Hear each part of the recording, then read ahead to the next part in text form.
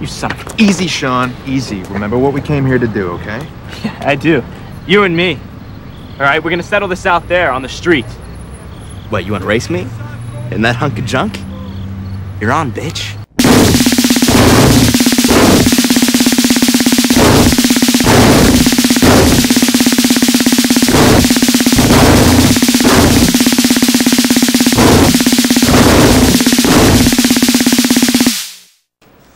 Yeah. I need an ambulance. There's a guy. He's been hit by a car.